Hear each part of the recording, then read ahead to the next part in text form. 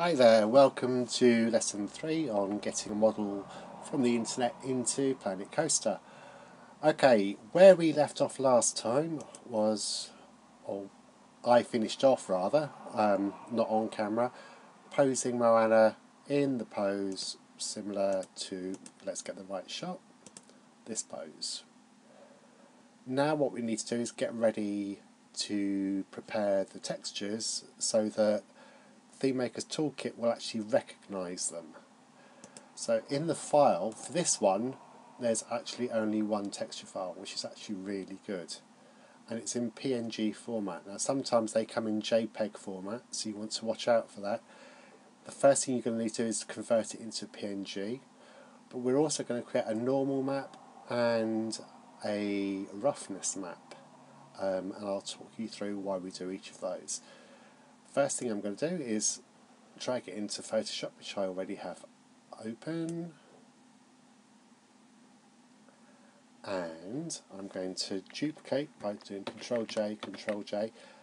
I hasten to add, you don't have to use Photoshop, you can use GIMP or any other software that you have. Um, I just personally have been using Photoshop for the last 13, 14 years, so it's my preferred piece of software to use for editing images.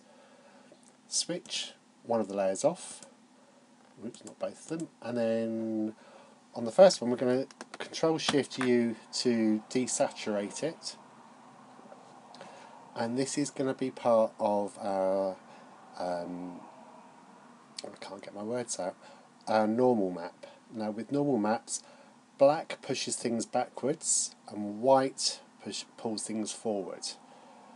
So we know you can you can tell by looking at the face which areas are going to be brought forward, which are going to go back. So things like her lips, we probably want to make a bit lighter because we want them to come a bit more forward. And things like the eyeball, we don't want it that white, but also we don't want it that black. So we're going to have to redo something with the eyeball. So first of all, let's address the lips. So I'm going to zoom in my Control Plus and I'm literally just going to use this to select.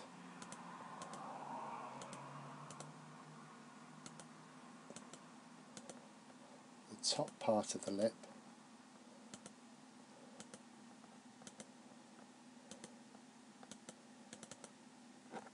And then using Control L to bring up the levels window I'm just going to bring down the blacks just until the lips are just a bit lighter than the skin. And that should do nicely. Control D to deselect. Now let's look at the eyeball.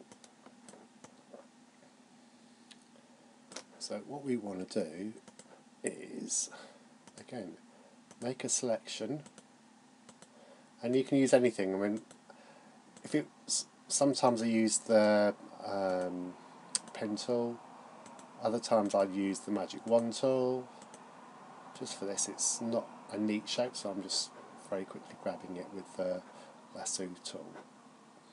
I'm going to create a new layer, and then in the colour picker, I'm going to pick um, just this neutral grey to start off with, and I'm going to fill the whole of the eye with that neutral grey. Now, getting the paintbrush, I'm going to create a new. I always tend to do it work in layers just so that if I do make a mistake, it's easy to work out a, a, a solution to it. So what I've done here is I've created a new layer and I've done a clipping mask so that it will only affect what I'm painting on. And to get the clipping mask, you literally hold Alt on the layer, and then as you come down, you'll see these things. So if you want to deselect, you can do the same. Okay, so with that layer selected, nice soft brush, I've got my white, and I'm just going to do that, just to lighten it. Um, I don't want to go too bright, because otherwise ends, the eyeball ends up looking like a pyramid, and that's not what we want. So Control Z, I'm just going to switch that off and check if there's anything else I want to address.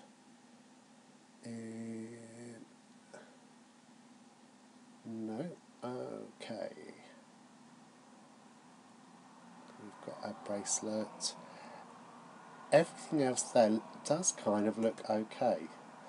So what we're now going to do is I'm just going to merge all of those layers by doing Control E and I'm going to bring up the levels one more time and I'm in the top part in the histogram area I'm just going to bring the whites into where it starts to show here and the blacks in just so I get more of a contrast.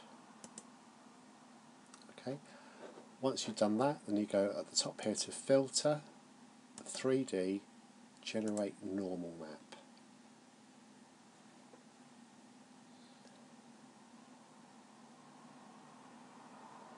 Okay, and I tend to just move it to cube view just so I can see what I've got and that eye looks okay. The lips are coming forward. Nice detailing in the skirt. Um, you can actually increase or decrease the strength here if you want to. Um, I think I'm just going to soften it slightly like that and then go. OK.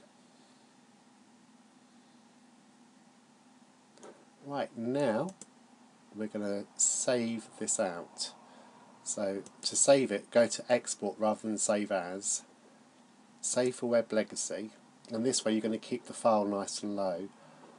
I use PNG again because that keeps the file nice and low hit save and then I'm not going to save its name I'm actually going to start giving this the proper names that ThemeMaker's Toolkit or the help panel recommends that you do so for this it's going to be material underscore zero zero underscore then the name of the character underscore and then NM in capital letters for normal and that's it so that's that one done.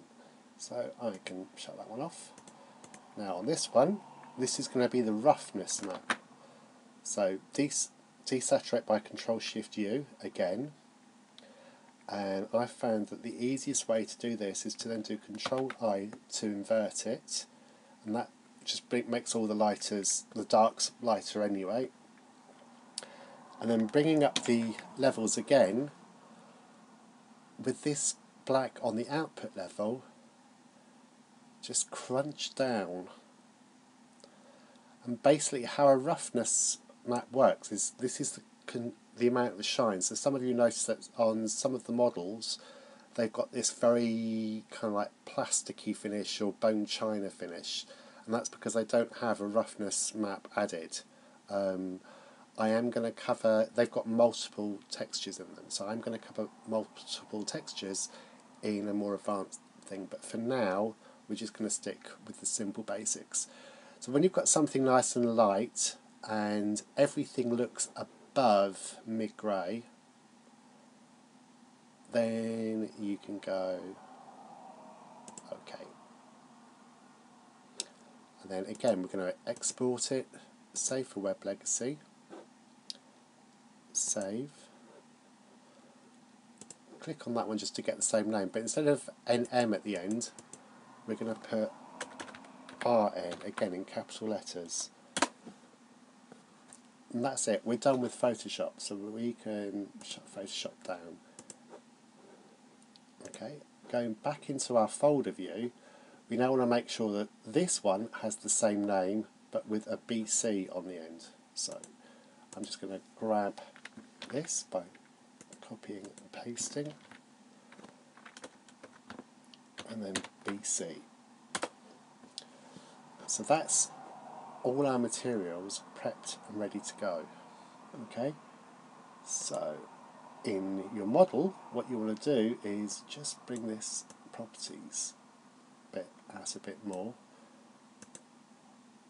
Select Moana or your model click on this circle one here which is your materials and it's by default it's got the original model material name